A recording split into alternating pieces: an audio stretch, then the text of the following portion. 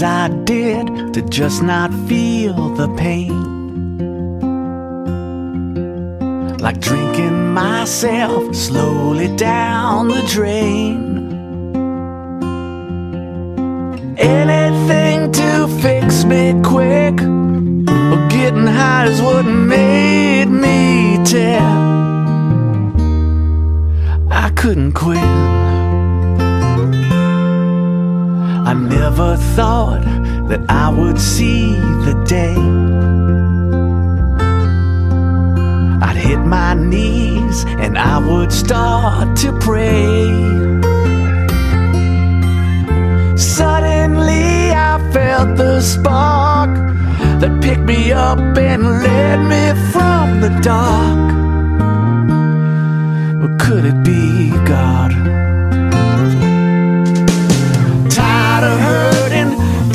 Of all the bridges burning.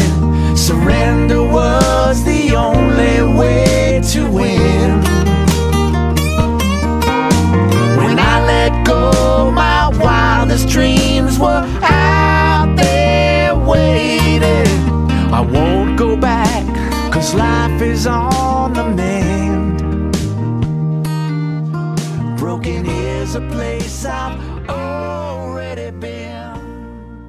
Welcome, everyone, to Time to Heal. My name is Pam Hemphill, and I'll be your host tonight.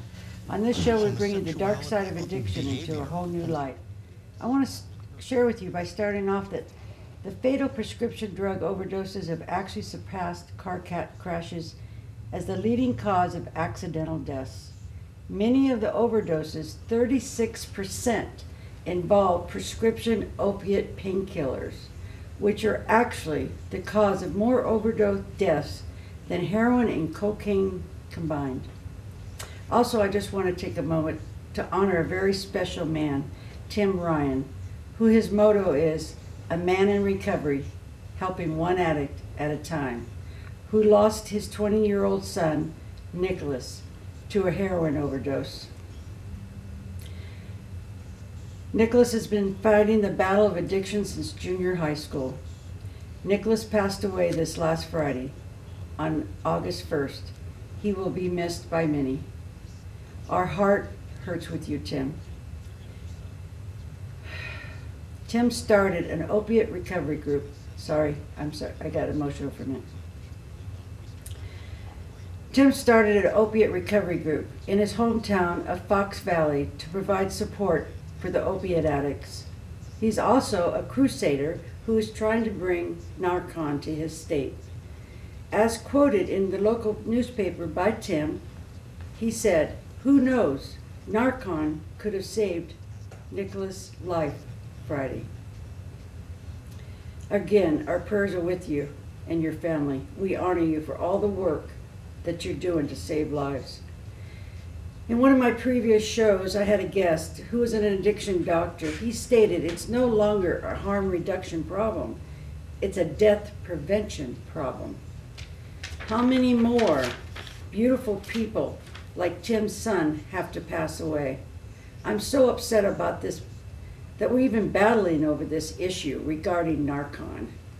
What has happened when people are trying to save lives that this has had to become a fight and a battle? What a shame. It's insanity. Think about it. What if it's your daughter or your son who's addicted to opiates and they're overdosing in your home? Think about it. Visualize it. What would you do to save their life? So today on, on this show, I've invited three guests who are on a journey to fight this opiate epidemic problem. I'm going to start off here with my three guests and let them introduce themselves, and then we'll come back and share their own personal story of what they're doing to fight this problem in our community. I'm Melanie Curtis, and I'm the Executive Director of Supportive Housing and Innovative Partnerships, or SHIP, and we have a prevention program called Connect the Pieces that we're doing this work with. Welcome. Glad you're Thank here. you. I'm Don Tennyson. I'm the founder of Raise the Bottom, a methadone clinic in Boise. I'm also the executive director of Bow Creek Bella Vista Residential Treatment Program. Welcome. Glad you showed up today. Mhm. I'm Michelle McTiernan Gleason, and I'm Director of Connect the Pieces Recovery Wellness, and I work with Melanie Curtis. Oh, welcome. Glad you showed up too. Thank you. I want to start off by asking Melody if she could share her story and how she began on this personal journey fighting the opiate epidemic. Um, well, I'll give you a little background first. I've been working with people with addictions for the last 13 years, um, providing safe and sober housing, employment programs, and other programs that are needed. But in um, November of 2011, I had a big wake up call. Um, I, most of the folks we were dealing with were recovering from meth addiction and alcoholism, um, but I, in my personal life, had the experience of my youngest son, Mike. Um, he overdosed on prescription drugs. He had a combination of um, hydrocodone, benzo, a benzodiazepine called Xanax, and muscle relaxers, and um, he basically stopped breathing. And he too, when you talked about Narcan, he too could have been saved with Narcan had we had that opportunity to have the training as well as the the substance to to give him. Um, but that that part of the story made me sit back and really think about um, you know, what am I doing to help stop this? Yes, I'm here, and you know, SHIP has been the village down the river where we've been pulling the babies out and trying to save them and giving them the tools that they need to save themselves. And it's like that wasn't enough. It, it when I lost my own baby down that river and you know one of the people that in the world that I would have wanted to save the most it really created a, a time that I had to do a lot of reflection on a personal level as well as professional level.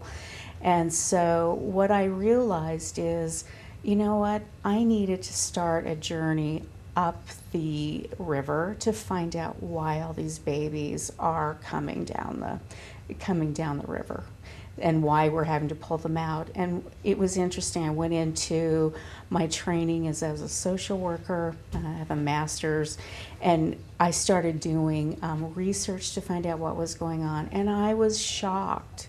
And this was um, December of 2011 when I started reading and seeing about the opiate epidemic that was really happening because of overprescribing, pres- you know, prescription painkillers. Idaho is ranked fourth in the nation for the misuse of painkillers.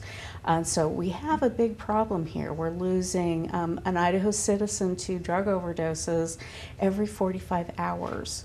So we're losing folks left and right. We're losing. Um, we lost my beautiful son, who is his picture is right here. He was a wonderful father, a wonderful son. He was an asset to his community.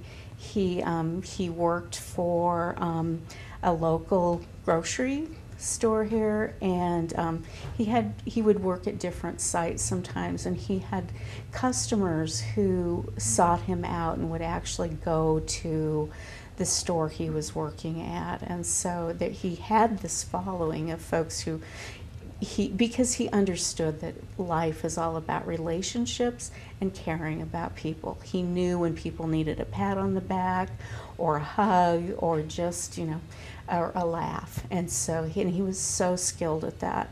So, I mean, he really has created a void in my life and many others too. Um, but I, I don't want to talk a lot about that loss because we need to step up and I don't want any other parent or child or brother or sister to go through the loss that that I've experienced and now Tim has experienced.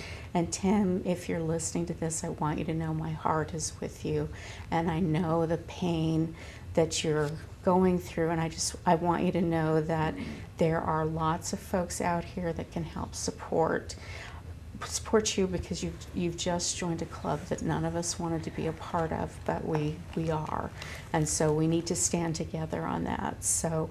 Um, one of the things in my research I found was that 70% of the people that use misuse prescription drugs are getting them from friends and relatives. So, you know, whether or not people are just giving them to folks because they don't really think they're dangerous because the doctors prescribed them and you didn't buy them on a street corner, you bought them at the drugstore, they are dangerous and they can be deadly. So we, we definitely want to make sure that we are working with people in the community, parents, grandparents, to, to actually educate them about what they can do in their homes to make our community safer. And so that's a big part of what we're doing. Um, because if we can stop that 70% of those drugs that are getting out there, we can definitely make our community much safer. Um, there are you know other things that we're doing too um, i serve on a group called the prescription drug abuse work group which is actually um, a committee that is staffed by the Idaho Office on Drug Policy, and there are a lot of decision makers like people from the Board of Pharmacy, Medicine, Nursing, Dentistry, the Idaho Medical Association. There are doctors that serve on it. Um, there's also, but one of the things that this group is working on right now is bringing legislation to get um, Narcan approved in the state of Idaho. And so I'm very excited about what's happening with that. And they're getting the folks on board that need to be um, definitely supportive of it. So, and right now, I know that they're looking at um, legislators to carry the bill the bill forward and I'm not sure where we stand on that but but there is movement so I'm very excited about that because um, that that could have saved my son. Sounds like it could have saved Tim's son. I have friends that have lost children, and the same thing. They could have been saved by that. So um, that's very important. But we, you know, we need to do a lot of different things. I mean, at the community level, one of the things I think that we really need to do is we need to drop the negative feelings when we hear words like addict or alcoholic. It's because what you know what science has proven, neuroscience and you know the it this is a medical disease and we don't treat diabetics like this which also requires a, um, a big life change um, we don't treat um, heart patients like this either. And so we don't throw them in prison. We give them treatment and we give them long term treatment that they have follow up for a long, long time. So we've treated addiction like an acute disorder, like a broken leg. It's like, oh, you relapse, so we're going to send you off to treatment. And that doesn't, that and then and then you're done. Then you're magically cured. Well that isn't how chronic diseases work. So people can learn to manage those systems and they can they can get better. And one of the things that michelle will talk about is some of the programming she's put together to help people make that those changes. So anyway we are um, we joined a coalition called the fed up coalition and we went last year to the rally where we um, we basically shut down the government. No, not, not really. that wasn't us, but it was shut down the day of our rally, and um, it it was a good opportunity because it was all of these organizations throughout the nation that have been started um, by parents that have lost children to addiction. And so we all are coming from that same club. We're working together to make the changes that need to happen. And so we are going to Washington and for the rally at the White House on September 28th and we will definitely be there supporting Idaho. We have, we're taking, uh, we know what, that five people for sure are going, so we're very excited about that and but we want we realize that many things need to happen for change at the national level. Um, there's we need to see make sure that the FDA who is charged with making sure drugs and it are safe and they're not. They're approving um, release of new um, opioids. And um, for example um, it's, I, I'm sorry, I don't remember the name of it. Do you know what it is? Zohydro, you might be Yeah, referring to, Melanie? Zohydro, which is an extended release hydrocodone with no um, other drugs like Tylenol and stuff in it. And so that, they approved that, and, and which was, um, their advisory committee voted, I think it was 11 to 1 not to, because of the opioid ri- risk of, of overdose and everything. Um, but they went ahead and approved it anyway without really considering, you know, what's happening in our communities out there.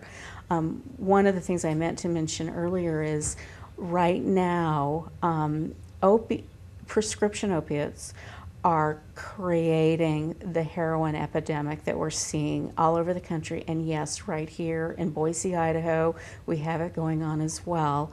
Um, right now, four out of five new heroin addicts actually started by taking prescription painkillers. That that is huge. This is what's driving the heroin epidemic. And so we call it an opioid epidemic because we do not want the pharmaceutical companies to get off the hook. If we only call it a heroin epidemic, that somehow separates off the, um, you know, takes them out of the picture and no, they're a part of the problem. You know, when we, you look back at history, Bayer, Bayer actually created um, heroin back in 1913 and that's after that people got addicted and so they actually took that off the market and it became illegal. So there was history to look at to see what would happen with opiates. So here we are in 2014 and we have we have Purdue Pharmaceutical who put OxyContin out there, gave the same the same tired story that oh this isn't addictive and and it is. And it has created this epidemic while they turn money over hand over fist. And that is wrong. And so that and that's what the FDA should be protecting us from and they are not. So that's one of the groups that we definitely are trying to um, to influence. One of the other things we want to see is um, we do not want to have to view prescription or prescription drug advertising. I mean, it was. I met a mother from eastern Idaho who actually had lost a second child to an overdose, and he was addicted to Lyrica. And, you know, every time he'd see the Lyrica commercial, that would trigger him. And so, you know, that, and I didn't even know that Lyrica was something people would get addicted to and would die from. So, you know, that we have to pull that. That needs to stop. There are only two countries in the whole world that allow pharmaceutical companies to advertise on TV, and that is the US and New Zealand. So, um, other countries certainly have a, a better idea of helping to stop that, you know, putting, planting that seed in people's mind about what drug they need, because that isn't for them to decide and then, you know, lobby their doctor to get that pill. So there's, there's so much we can do, and these are things that have to happen at a national level. There's also things we can do at the state level, obviously supporting the legislation around Narcan. And um, there's, you know, there's, there's just so much that needs to be done. So I hope people will join with us and be a part of this because, you know, I realize that fighting this might not be your priority at this time, and it wasn't mine until I lost my son. And now it's a priority because I don't want anybody else to go through this. So, anyway. So. Sorry, cut that part out. But anyway, so um, no, I'm- not crying yet. but um, yeah, I, that's why I didn't want to tell Mike's story yet because it's way too. Yeah. So, but you know, so there, there's so much we can do, and I don't know that I've been as articulate as I've liked to have been about it, but you know, definitely can go to our website, which is connectthepieces.org. Um, one of the things that we really want to start doing is bringing together parents who've lost children. Because my sense of having looked for resources is I didn't find resources that really fit what we experience. Because not only do our children get stigmatized and um, discriminated against, so do we as parents. Um, I know Michelle was saying earlier today that when we have, when our child dies, or you know, or um, we don't get the casseroles and the thing, you know, those kinds of things that happen when. Um, when somebody in somebody's family dies, we, we people kind of shy away, and um, but you know what? We're part of this community too. Our children are part of this community, and we all need to come together. And we need to be much more open and tolerant about um, that addiction happens. It doesn't mean somebody's a bad person. It means they have a disease, and we as a society have not dealt with that appropriately. So it's so important that we start to turn that around and create opportunities where people can get the support they need. And that's one of the critical things we're working on. So, sure. Would you like to share what you're doing, what you're up to? Certainly. your journey? How did you get started? Well, I have to say first, it's an honor to work along with you, Melanie, and I'm so sorry for your loss. I've been in Boise for more than three years now, and time and time again come across total strangers to Melanie, and of course to myself, who knew Mike and speak of how he touched their lives. Um, it's been just uh, amazing to um, to know her and to know Michael through her. So my journey began much or similar to Melanie's on a personal and professional level. Um, more than 20 years ago, I began working in a detox hospital for the formerly the Caron Foundation, now known as Caron Treatment Centers, um, as part of the nursing staff as a nursing assistant. And then I was um, personally and professionally um, uh, affected by the prescription drug epidemic. I have volunteered since then in the field, and uh, a loved one very near and dear to me became addicted to prescription medications right under my nose. I had no idea.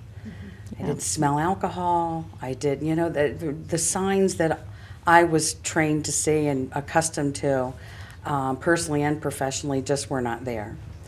So when we experienced this in our own family, um, I began to seek answers. What is this? What is this all about? And began researching the prescription drug epidemic. Um, Melanie uh, and, and SHIP, Supportive Housing and Innovative Partnerships, and Connect the Pieces became part of my research. I became aware of the work that she was doing. And um, I began volunteering with Connect the Pieces. And in, also in my own research as to what has happened with the prescription drug epidemic, how it all came about, um, I identified a, a nutritional component and became familiar with recovery coaching. And um, uh, that's how we've developed Connect the Pieces Recovery Wellness uh, program. Um, I'll touch on that a little bit uh, in depth in, in a little bit, but I'd like to say then, through working with Melanie, Melanie contacted me and said, asked that I submit a letter um, talking about my experience with prescription uh, addiction. And um, I submitted my letter to a woman named April Rovero, whose own son, Joey, became addicted to prescription med- medications and died of an accidental overdose. And it is in, through writing those letters, we became aware of April's um, uh, of membership of the Fed Up Coalition. And we realized that the mission of the Fed Up Coalition uh, is in alignment with our own.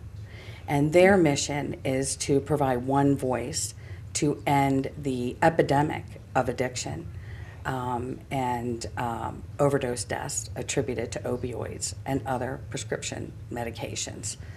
Um, and um, I'm sorry, I lost my train of thought. You have to edit that out. I apologize. Um, and anyway, that's how we became um, part of the Fed Up Coalition. And as Melanie mentioned, we're going to Washington, D.C. on September 28th. And we're calling for immediate intervention of the federal government to help end what the CDC terms the worst drug epidemic in U.S. history. Um, we would, uh, we have our platform, by the way, Fed Up Rally platform available at feduprally.org and also on Facebook. So there's many, there's much more to our platform than we can cover here today. But we are calling for a moratorium, um, uh, prescription medications with the painkillers, opioids, uh, with the FDA until we can get a hold of this uh, epidemic. And we are hoping that to have our president acknowledge the epidemic, which we hope will then turn the tides as happened with the AIDS epidemic. Once the president acknowledged it, then uh, people became aware of it, and we were able to make progress as, as we've seen today. So, um, I'm sorry. I'm not sure where I want to go from here. I apologize. No. Um, You could talk. should I talk about the, get into our recovery wellness program? Yeah. Okay. So, in getting back to what we're doing at Connect the Pieces, we have, our piece is to provide solutions to those afflicted uh, with um, uh, the addiction, uh, the disease of addiction, chronic disease of addiction, and um, to provide recovery support services as well, which is what we do in our um, Connect the Pieces Recovery Wellness Program. And the prevention component uh, is, of course, contained in the awareness that we um, share with our Recovery Wellness Program, but specifically with uh, the Amazing Adventures of Pharmacist Phil, which is our children's prevention program. There is also a nutritional component there. Uh, we introduced the conversation um, about prescription drug safety uh, by first speaking about nutrition in a holistic sense and how um, healthy nutrition food, nutritional foods are our um, most powerful natural forms of medication. And if and when we become ill and we have to go to the doctor and the doctor prescribes medications, then there are certain um, rules with regard to prescription drug safety that, that we encourage them to follow. And that uh, four specific is to lock up your meds, um, take as prescribed, do not share, dispose of your meds properly, and to use one pharmacist and one pharmacy. Um, there are pharmacists are our most accessible medical providers, and um, using one pharmacist, they're familiar with your prescription medication needs and your medical history, and are able to identify any issues that may arise that could avoid uh, some of the outcomes that we've already mentioned in terms of accidental overdoses. Thank you. And Don, how did you get started on your road to helping opiate addicts with their addiction problems? Well, I had been in the field, uh, well, now I've been in the field for over 35 years. And uh, so I came from a traditional treatment approach, treating alcoholism and uh, other types of drugs. And uh, I, I just kept at it. In fact, I was reminiscing with Melanie. We have some history way back, and uh, we were talking about some of the good old days. And, and I was uh, caught up into that, what I call cookie cutter treatment approach. And I was watching my own chosen field, in my opinion, do less uh, successful work uh, than I had previously seen. And I was beginning to lose a little bit of interest in, in my chosen field. Because I, I, I was feeling, although we were involved with many of the same committees, I felt as though we really weren't staying in touch with what I call modern day addiction. And we really weren't uh, in touch with uh, approaches that were successful. And so uh, I, I ran into a doctor a few years ago by the name of Larry Stone. And Dr. Larry Stone truly was uh, uh, Dr. Bob reincarnated. This doctor spent hours in emergency rooms trying to help the modern day addict and often would talk uh, recovery programs to these patients and suggest they go here or there. And Dr. Stone and I were working together in another facility, and he was telling me about opiate addiction and how his hospital emergency rooms were overrun with every Friday, Saturday, overran with uh, people seeking pain medications.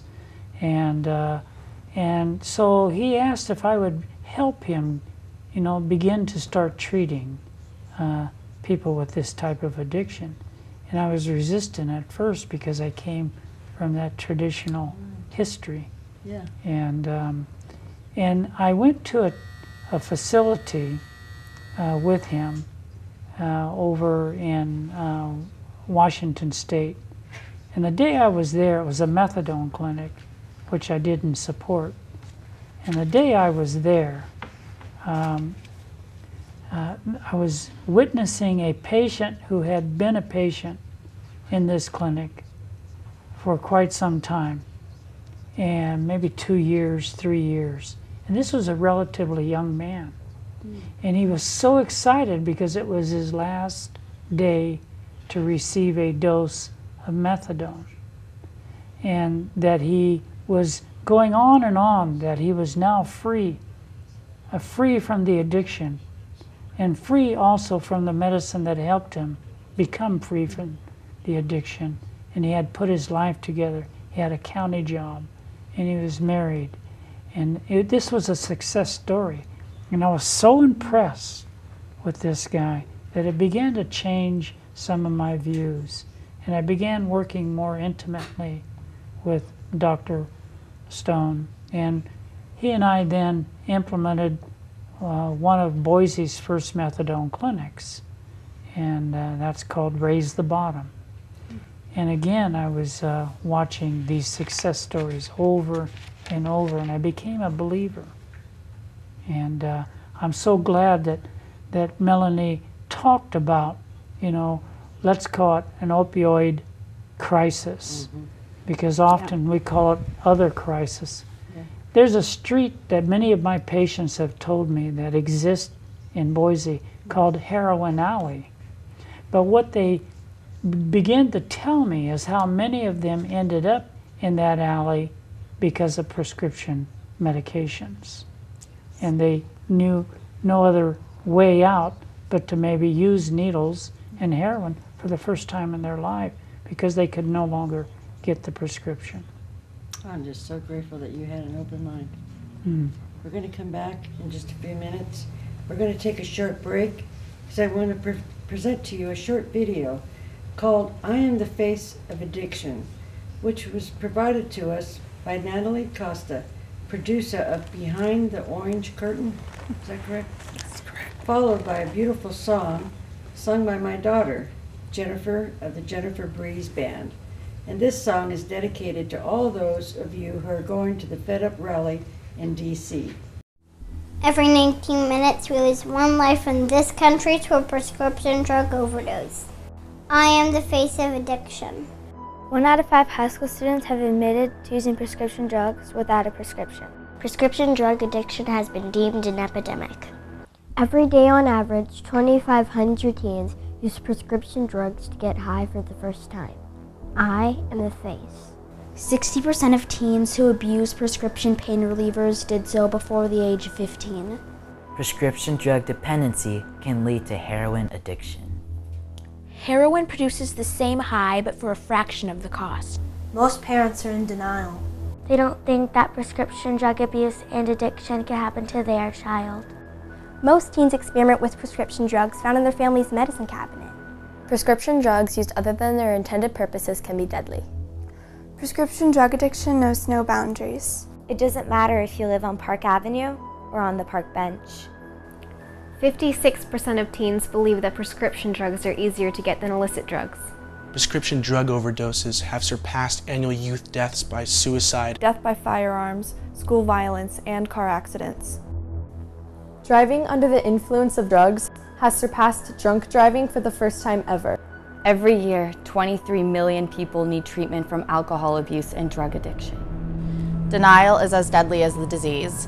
If you think this couldn't happen to your child, you couldn't be more wrong. We are experiencing an epidemic. The vaccine for this epidemic is awareness and education. I am the face. I am the face. I am the face. I am the face. I am the face. I am the face. I am the face. I am the face. I am the face of addiction. I am the face. I am the face. I am the face. I am the face. I am the face. I am the face. I am the face of addiction. Parents, for the sake of your children, please get educated.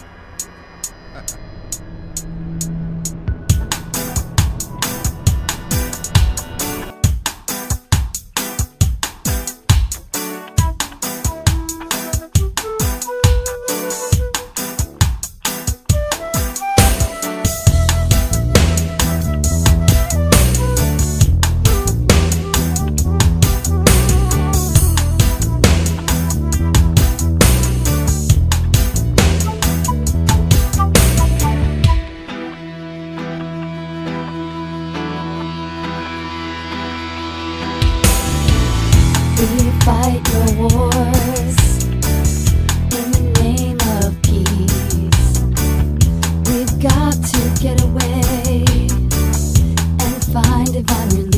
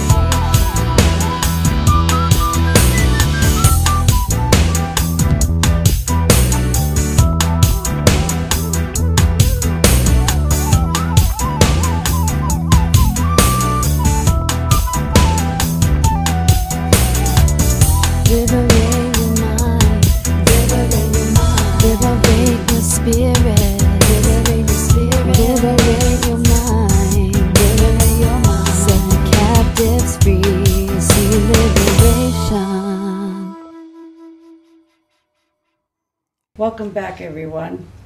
We've been discussing the opiate prescription overdose epidemic in Idaho with my guests Don, Melody, and Michelle. Sorry, I had a blank spot there for a minute. I'm going to go ahead and start all again with you, Don. Will you share with us some more things that you experienced, and what, what do you think the changes that we need to see happen in the government level, opiate treatment? I'm excited to hear what Michelle is starting uh, an adventure here to go to the feds and and start uh, knocking on that door and, and we, we have we're just beginning. And i used an analogy before that you know what an iceberg is. The tip of an iceberg is all that you see above the water but below the water is a much bigger piece of the iceberg and that's what's going on with the opioid crisis What do you mean much bigger underneath? well, there, we're just beginning, like in places like Boise, to even recognize that we're in a new crisis, much bigger than the methamphetamine crisis. I've been speaking to people, they don't even know what's happening. Yes, yes, many people don't. As Melanie had mentioned, you know, there are parents that, and, and as you mentioned, there are parents that have no clue what's going on because it's the kind of addiction that's easily hid. And by the time you do find the problem, it's often too late for them to stop on their own. I have patients tell me every day that what they hate is what they term dope sick. They do not want to be dope sick. And that's what we call withdrawal. When they're in that withdrawal, they'll do anything to avoid that withdrawal. Is that the same with the prescription medication? It Yes, is. Okay. And, it, and I've been told by patients that it might even be worse in many cases with the prescription than with heroin. And I've had patients tell me that they can fight off being dope sick from heroin much easier than they can Oxycontin. And that's because you're dealing with a pharmaceutical drug that's made in a pharmaceutical lab that's much more potent, much better in many ways than street heroin. As you know, old school heroin, by the time it gets to the addict, has been stepped on, often cut with other uh, drugs so that they can make money. Not so with the Oxycontin, you know, not so with those kinds of painkiller uh, prescription drugs.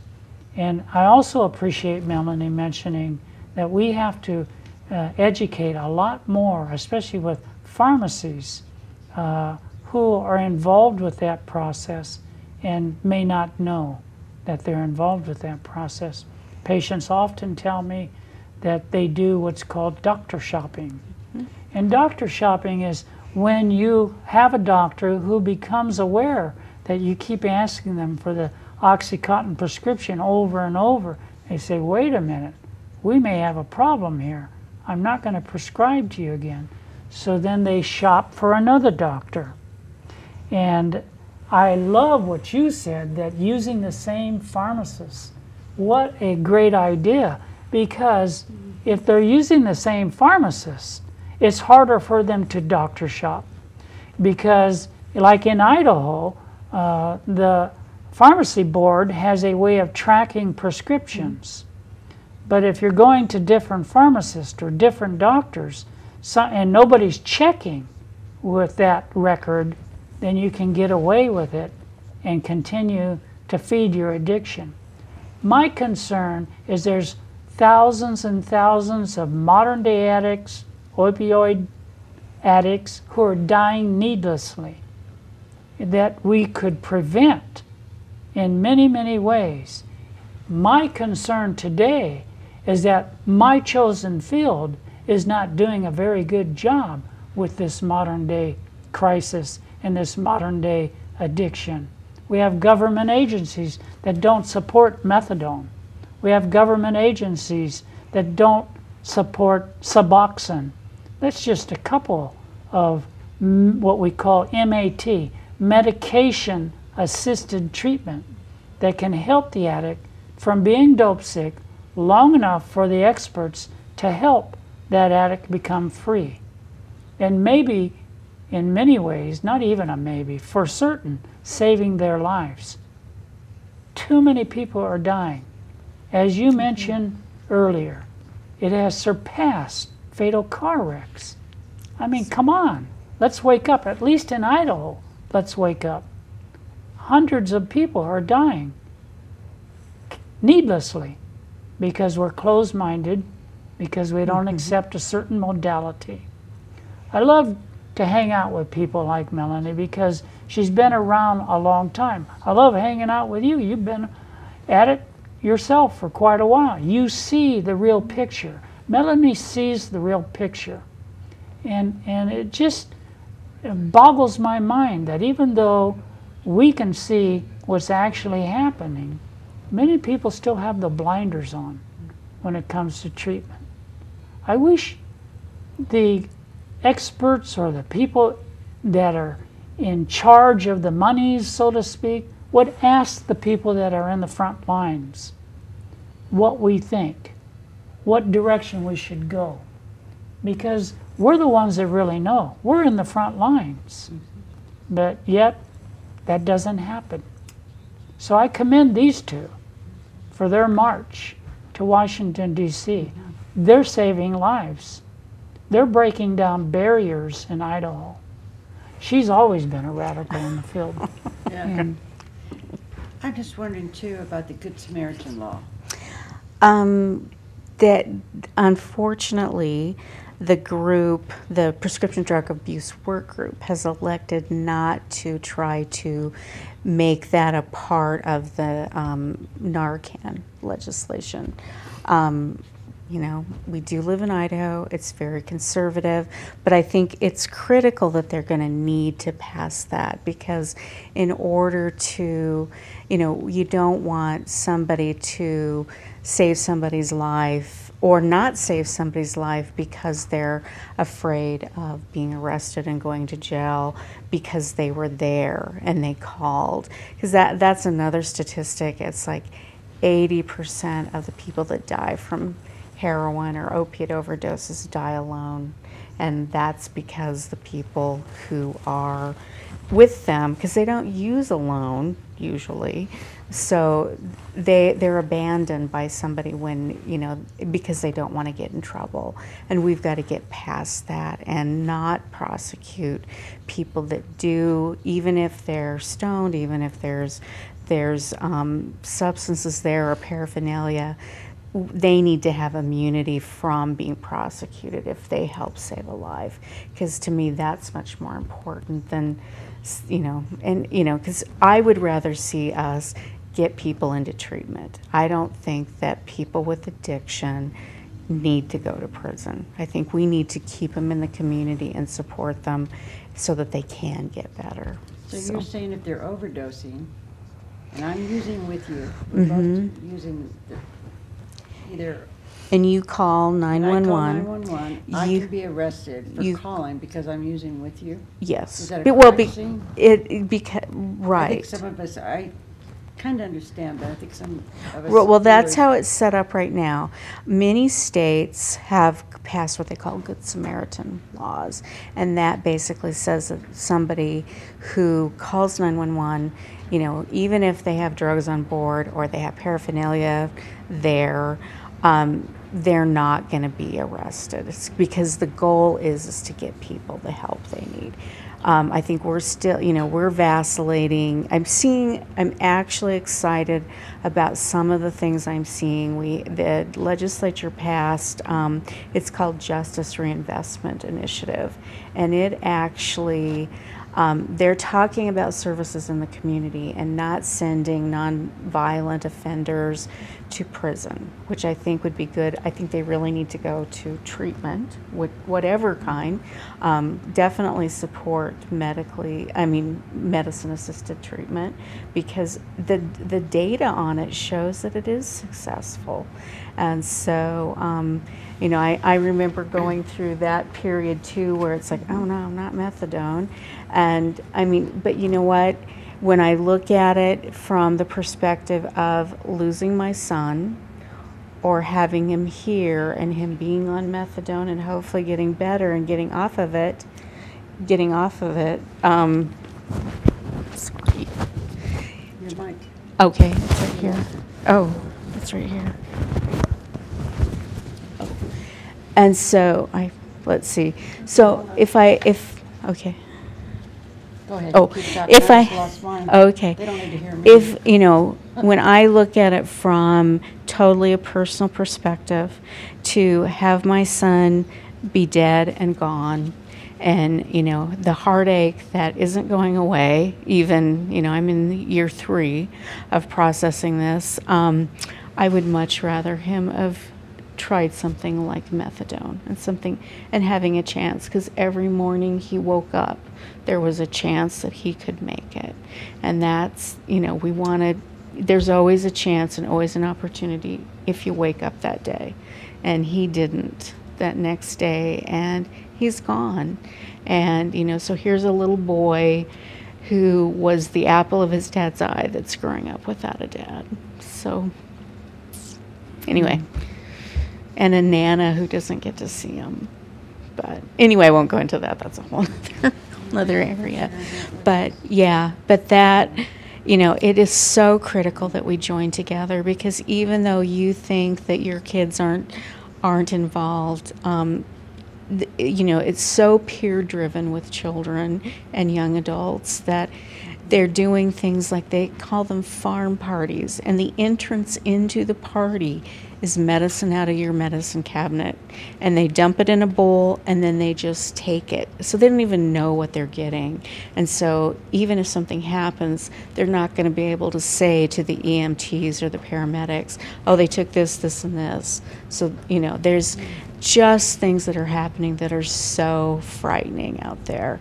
So we've got to. Um, realize that our kids are going to do it. Mike was a Mike was a guy that never got in trouble. He, you know, he had a brother, has a brother, Steve, that pushed every envelope and tried everything, and um, so Steve learned to cope with that. Mike was kind of, I'm going to stand back and watch and see what happens to Steve, and he didn't get in, you know, he didn't get involved with that stuff. He, he actually injured um, himself in a sport, and he was playing soccer and broke both of his wrists, and through that process got addicted to the painkillers, and so it was about a, it was probably like a six or seven year process for him to get so bad, and then, you know, I think he's just getting stuff from the doctor. I'm noticing things are missing from my you know, my medicine cabinet, like after I had surgery and things like that. And I was blaming somebody else. And, you know, I mean, I'm, you know, I don't know. But those are the kinds of things that we as parents want to really pay attention to. We, if we have medication, we want to lock them up. That means with a key or a combination lock so that kids can't get them.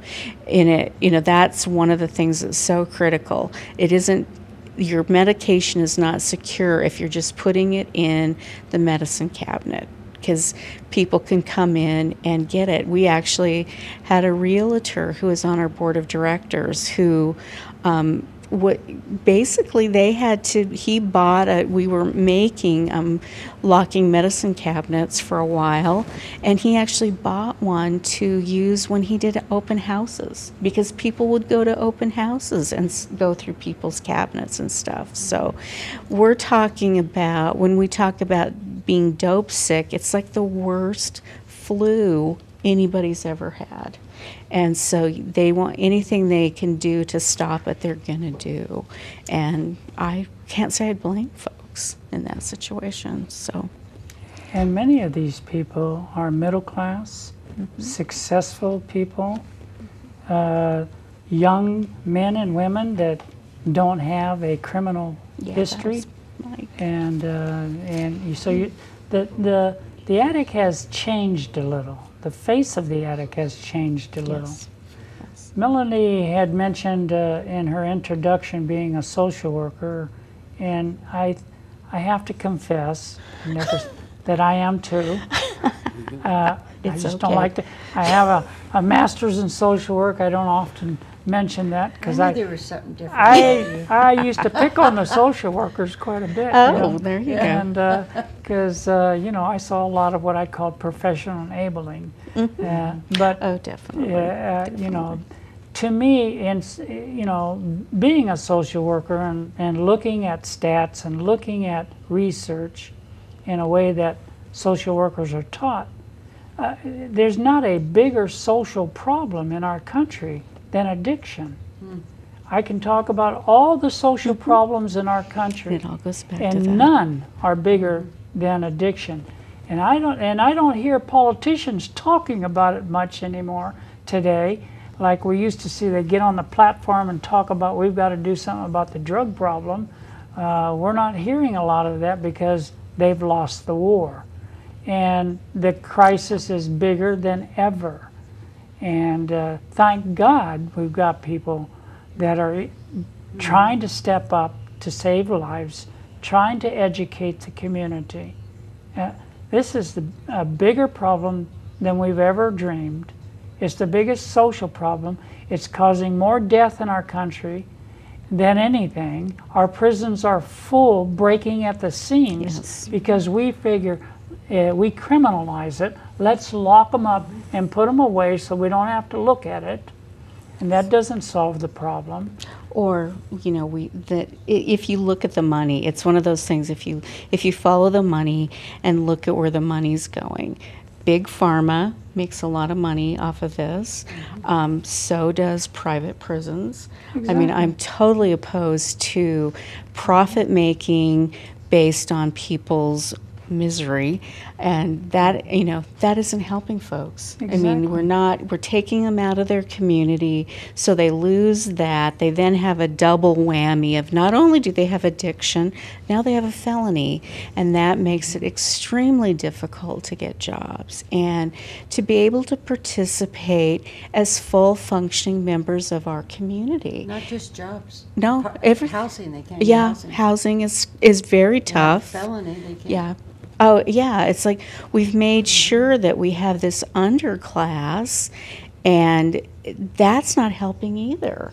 Because, I mean, then, you know, anyway, and it so. violates all anti-discrimination laws Yes, when we behave like that as a society. And when you do come out of prison with that tag, and you have a serious opioid addiction, you can't go get help. You are you are told by probation and parole, don't go over to the methadone clinics. We So it's set up for failure. You're set up for failure. Uh, you can't get a job. You can't. I mean, it goes on and on. Well, and and one of the other things, I mean, that is so important in Idaho that we haven't done is the expansion of Medicaid would make funds available to send people to treatment. And um, it has to meet standards that are set by um, the Medicaid program, which are federal standards, which are a high level. And that's one of the that's one of the things we really should look at because not only do we do housing, we have uh uh over a hundred beds of housing that we provide for folks in recovery, and it is so difficult that, to get them the basic services that they need. They can get some acute care through some programs, but once they're housed with us, they don't then meet the house, the homeless definition. So a lot of options are um, taken away as well, and so they can't even get basic kinds of care. And so if we're if people are sick, and you know, and we're not doing anything to help them get better, that that creates a sickness in our community that's bigger. And, you know, I just, it's so hard to watch and know that, you know, the people that we're talking about are very deserving of getting help. And often we have nowhere to turn to to get them that help. Mhm. And so, um, you know, there are state funds for treatment, but not everybody can be treated and because they even quit they used to do waiting lists long ago. And they finally quit doing it because they didn't want to create this um, illusion that people were eventually going to be able to get help.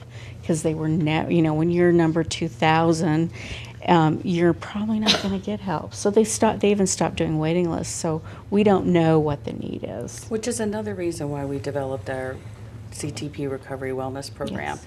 to help our residents thrive in, in recovery, to empower them. and to and you know we do things that they can learn to love and to enjoy so that they can feel good about their recovery and Yes. getting better And like you so- said, Don, Mhm. the approach is we are open-minded and we've released uh, the, um, the cookie cutter approach. Our approach is completely bio-individual. We Mhm. support any pathway in recovery Mm. and uh, we work with each resident that chooses to be part of the program um, to develop their own unique plan. It's a peer-based recovery guided program. um, where we offer nutritional, stress management, and lifestyle support. Walk along with them through their journey to help them release old behaviors and thought patterns, invite in new ones, develop strategies and then tactics um, to, again, help them thrive in recovery. Well, you know, this is, this has been wonderful. We're coming to a close. Uh, Is there anything quickly any one of you would like to say before we? Um, well, we can't do this alone, so join with us. Um, definitely want to um, work together with people in the community um, around the naloxone issue, hopefully around the um, good good Sam issue too, because that's a key piece that we need as well. So there's things that we can do locally. Um, one of the things that I would like to see, I know from my own experience, is a is a support group that is specifically dealing with parents who've lost children, because um, that is such a um, it's a difficult experience to take to other bereavement groups because you know you're sitting there you're you know and people have this perception that your child did an act that they chose to do and they died and you're there with someone who lost their child to an auto accident or cancer or something and it nobody says anything, but you just feel it. And so I think that one of the key things that I would like to see is coming together, parents coming together and being a part of this, because that, you know, and take that passion that we have, because we know what that pain is, and have our, um, and and to ha- we have that passion, but then to use it in a way that's going to make our community better and save lives, so others don't have to join our little club that um, that we don't want people to have to join. So, Don? Well, you know I have a big mouth and I can go on and on and on. I'd like to concede to our other guests because we are short on time. Well, thank you, Don. I think as an extension of what Melanie um, has just said, I encourage everyone to uh, follow us on Facebook at Idaho Voices in Recovery. You can follow us also on Twitter at CTP Recover Well. Um, also, PharmD Phil. You can follow Phil uh, on Twitter. And um, uh, also go to connectthepieces.org uh, to, to stay up to date on what we're doing. Uh, let's join together locally in the Boise community. We'll keep you up to date on what's happening on a state level and also a federal level. Also, we uh, love to collaborate with other organizations. Like we have collaborated with you, Pam. Boise Ignite is another local organization um, that is, supports any pathway to recovery and is very active in our community. So get in touch with us. We're here for you. We'd love to come together and um, reduce the stigma, actually, to end the stigma and keep the conversation uh, alive. Uh, we cannot be silenced. If uh, somebody in the audience is interested in learning more about Fed Up, Yes, please. Thank you, Don. Please, uh, the rally is upcoming on September 28th. Um, if you can attend, you can still be part of the process. You can help by spreading awareness. Um, go to feduprally.org. Go to Fed Up Rally on Facebook um, to um, share information, to become informed, to become part of the process. Uh, if, you, if you're unable to go to DC, that's okay. You can still be part of the process. Okay, Thank you very much. And if you have any uh, questions for Don, he's, his phone number is on, listed on our uh, sponsorship when you watch the show, unless you have the number, do you know your? it's on there and It's on there? that's good. You can look up Bull Creek and uh, Can I mention one more thing, Pam? I'm sorry, I didn't want to let this go without mentioning that we do hold um, recovery wellness workshops, holistic nutrition workshops, the fourth Sunday of every month at the Cathedral of the Rockies. And uh, it's open currently to veterans and families uh, and their families in recovery. But we will be expanding our program and we won't turn anyone away that would show up and be interested in receiving our message. So we heard that, get involved. and let's And- not forget the bright side of addiction is recovery. It's recovery and there's Yes. hope. And yes. We are making a difference. Yes. Yes, thank you. If any of you guys run for office, I'm voting for you. Definitely. I want to thank our viewers for joining me today on this show. And if you're interested, you can join me on Time to Heal on Facebook. and watch my shows on YouTube. I want to give a special thanks to Ricky Byrd for using his song, Broken is a Place. Thank you, Ricky. You can also see his band play at the Fed Up Rally. And my daughter, Jennifer, for the use of her song, Liberation. And also a special thanks to Hamilton Loomis and his band for the use of his song, which will be played at the end of this show. Remember, not everyone gets everything back as said in his song, but most of us do. But what is the most important thing that you'll get back in recovery is a relationship with God that will stand with any problem that you may have to face. I just want to end by saying something of my own personal opinion. It's been proven since 1972 that change in the laws has done very little good, except for helping the addict and the alcoholic. However, solving the addiction problem does come from applying an outside solution for an inside problem. What has been proven to help addicts and alcoholics is one addict talking to another, or one alcoholic talking to each other, sharing their experience, strength, and hope, not by just passing it on, but by becoming willing to get out of themselves and become willing to help another addict. Bill W. said to Dr. Bob, he was quoted in his little movie there, I'm not here to help you, I'm here to help me. We do not fix anyone. We do not have that type of power. The 12 step program is the only place where an addict or an alcoholic will go seeking help. And we tell them, we can't help you. Only God could and would if sought. So, this Sunday, August 10th, I'll have 35 years. One awesome. day at a time. And my son wanted, I mean, my son, my husband wanted to buy me a 30 year chip, and I said, no way. I only want a 24 hour chip, and that's what I carry with me. I don't do 35 years.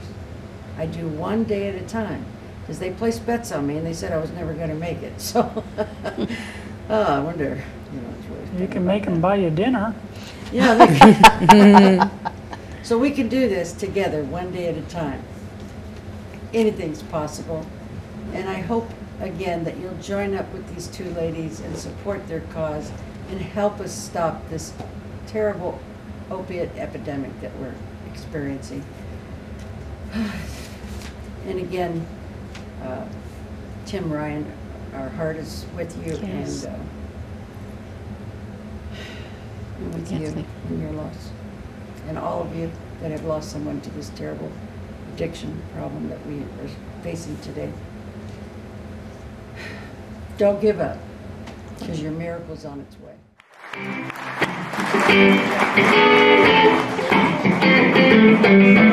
My name is Hamilton Loomis. This is the Hamilton Loomis Band. We're all the way from Texas. It's good to be back in Germany. Always took for granted my life was complete. How could I foresee